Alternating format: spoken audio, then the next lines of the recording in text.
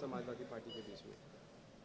ना, मतभेद तो कुछ नहीं है, बल्कि कुछ हालात ने ऐसे इस मोड़ पर ला खड़ा कर दिया कि कि समाजवादी पार्टी की सीटें बहरहाल कम रह गई और इससे बहुजन समाज पार्टी को ज़्यादा फ़ायदा पहुँच गया।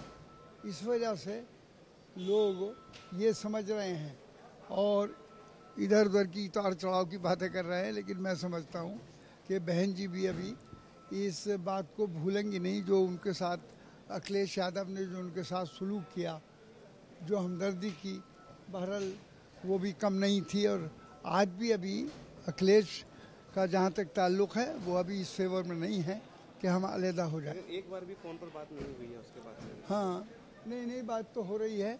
अभी और फिर बात होगी अभी। तो लेकिन आपके वंदे मातरम के बाद एक बवाल देखने को मिला लोगों ने बहुत नाराज़गी भी जताई क्या कहेंगे उस पर?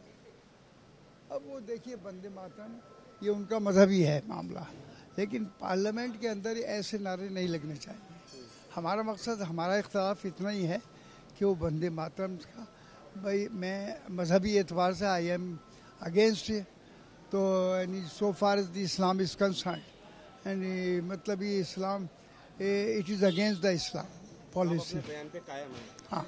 लेकिन सर ये तो आज़ादी के पहले से वंदे मातरम के नारे लगते रहे हैं।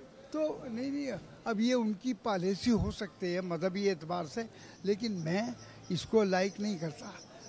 ये पार्लियामेंट के अंदर नहीं आना चाहिए। पार्लियामेंट से बाहर आप जो चाहे सो करें वो आज़ादी है हमें कोई एतराज़ नहीं लेकिन पार्लियामेंट के अंदर वंदे मातरम कहना आपके हिसाब से गलत है। हाँ नहीं अब उसमें ये पॉलिसी मैटर के खिलाफ है बिल्कुल।